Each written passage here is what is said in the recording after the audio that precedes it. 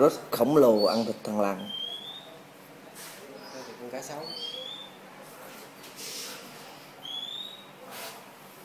Con gì thì đại bác con đồ ăn được con thằng mai. Con cá sấu à.